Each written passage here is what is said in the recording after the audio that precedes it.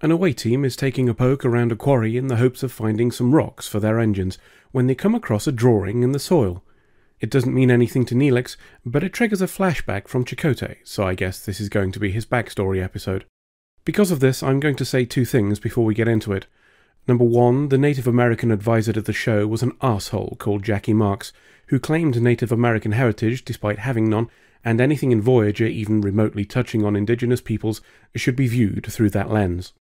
Number two, I'm both white and English, and as such, even if I had sufficient knowledge on the topic to provide an informed assessment, which I don't, it's not something that I'd be willing to do anyway when the voices of those directly affected have far more right to comment than I.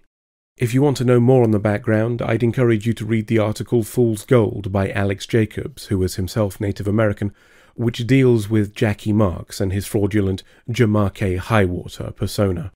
I've included the link to this article in the description of the video. With that out of the way, let's continue. The flashback begins with a teenage Chakotay having a bit of a walk with some others, one of whom we presume is his dad. Chakotay spots a symbol carved into a log that looks not unlike the one Chakotay saw, and this causes his dad to both compliment his eyes and explain that it was carved by the tribe they're going to visit and with whom they share common ancestors. He tells Chakotay and us that the people they're going to visit still live by ancient traditions, and we see Chakotay being dismissive of their ways. Back in the present, Chakotay uses the knowledge we just learned in the flashback to suggest the markings are a blessing to the land. Up in sickbay, Ensign Pregnant is busy being pregnant. The doc is dismissive of her discomfort at the process, and, after she leaves, Kes calls him out on being a twat, saying he's never been sick or in pain, and that this lack of reference point means he can't understand the feelings of vulnerability that come with having a biological form. This would be an interesting point to make, were it not for the fact that it isn't true, because the doc felt pain in Season 2, Episode 3, Projections. Regardless, this is probably a plot point for the episode, so I guess we'll let it go and see where it leads. Elsewhere, Chakotay is telling Janeway about the flashback we all saw earlier. Then we take a look at a comparison between the symbol from his youth and the symbol on the planet they just visited. When asked for an explanation, Chakotay recounts the myth of the sky spirits from above, who were said to have created the first of his ancestors, then buggered off to a sacred land, and honestly, it's not the worst excuse we've heard this season for something from Earth being in the Delta Quadrant. Anyway, they also spotted a warp signature in orbit, so they decide to follow that to both find out more about the planet and maybe ask about some of those special rocks for the engines.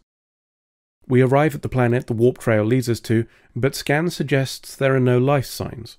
There are some weird electrical readings though. Oh, and we found some of the special engine rocks too, so that's nice. Guess we're going to take a look. Or not. Every time they try to find a place to teleport, a storm starts at the exact location, Personally, if a whole planet was telling me to fuck off, I'd probably listen, but I guess Starfleet are made of sterner stuff because we're going in a shuttle. On the way, flying through a storm starts another Chakotay flashback. Chakotay is being a dismissive arse about his father's beliefs some more. During a little heart to heart, we learned that their relationship was strained, with Chakotay unwilling, or unable, to see the world through his father's eyes, even though he believed this would make him a disappointment. This familial strain is the first real chance we've had to connect with the character rather than the stereotype, and I suspect it's because of this that I've not warmed to him before. The flashback ends and we continue our descent in the shuttle, but not before Chakotay sees a face in the clouds. Back on the ship, Kes is with the doctor, who sneezes. It seems the doc has been tampering with his program to give himself the flu in order to better understand his patients. Except he's now seeing it as a chance to prove he's better because he won't let it affect him. The away team are having a poke around, and while doing so, Chakotay discovers a flower that he last saw back on Earth when he was in the rainforest with his dad. Then he sees a bird that he last saw back on Earth when he was. Well, you get the idea. Cut to a flashback of Chakotay telling his dad that he's going to leave their tribe and join Starfleet. There's some more debate about old versus new, with his dad saying he'll never belong to either if he leaves, which feels like the worst thing you could say under the circumstances to me, but I'm not a parent, and we switch back to the present to find Neelix being attacked by the bird. It swoops in again for another go, and Chakotay sees that face again while the bird strafes him. Then it buggers off, and we send Neelix to sickbay. No time for them to care about that, though, because we found a structure of some kind.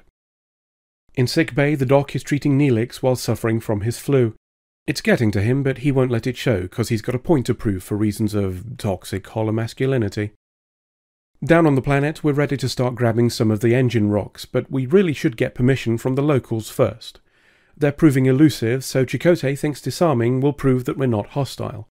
Tuvok suggests that this is a shit idea, and given that one of them got fucked up by a sparrow, I'm kind of in his corner on this one, but we lay down the guns anyway. Cut to a shot of Chakotay and his friends doing the same in the past. They're greeted by some, uh, definitely humans. Yep, totes humans, honest.